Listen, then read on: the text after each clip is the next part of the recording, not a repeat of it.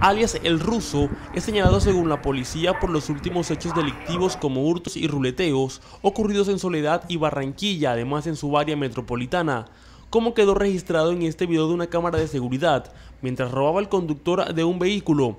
Además, es señalado por el crimen de un miembro de la policía en el año 2018. Si se vio inmerso eh, el año pasado en el lamentable homicidio de nuestro patrullero Bolaños, un miembro de la SIGIN.